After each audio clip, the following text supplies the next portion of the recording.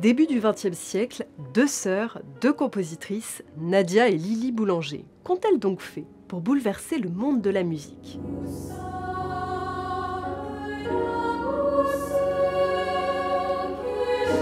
Avant elles, aucune musicienne n'a encore remporté le prix de Rome.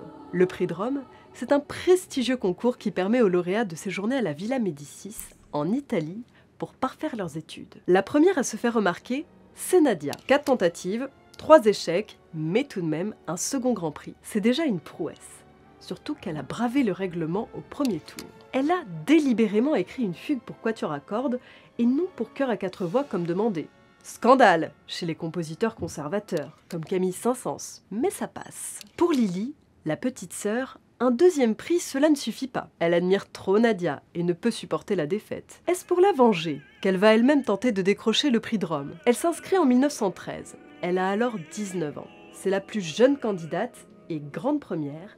Elles sont deux femmes à concourir cette année. Cette fois, c'est Banco. Lily remporte le premier Grand Prix avec sa cantate Fausté Hélène.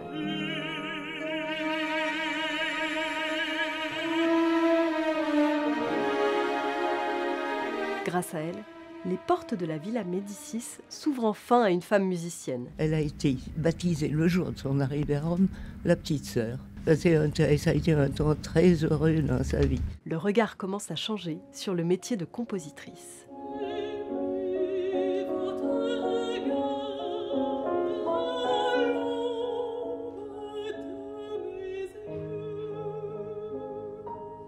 Nous sommes le 15 mars 1918 et à seulement 24 ans, la très prometteuse compositrice Lily Boulanger meurt d'une longue maladie. Sa sœur Nadia se donne pour mission toute sa vie de faire jouer son œuvre. Alors comment Nadia va-t-elle faire vivre le souvenir de Lily? Tous les 15 mars, date de la mort de Lily, Nadia organise une messe hommage à l'église de la Trinité à Paris. On y joue le Pied Jésus. C'est la dernière œuvre de Lily qu'elle a dictée à sa grande sœur depuis son lit de mort.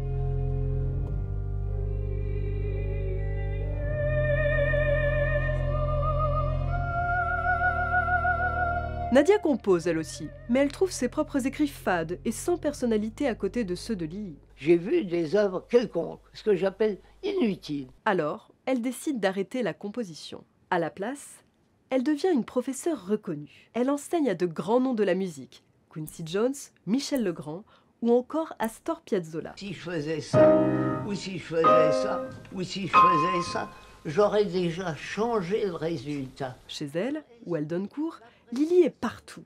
Des photographies et surtout un buste en marbre blanc toujours fleuri. Nadia est aussi chef d'orchestre et elle programme la musique de sa sœur dans ses concerts, à Paris, à Londres ou encore à New York. À Boston, Nadia obtient la création du Lily Boulanger Memorial Fund en l'honneur de sa sœur. Il permet de soutenir financièrement de jeunes musiciens. Un dévouement total. Peu avant sa propre mort, Nadia travaille encore à la réédition des œuvres de Lily.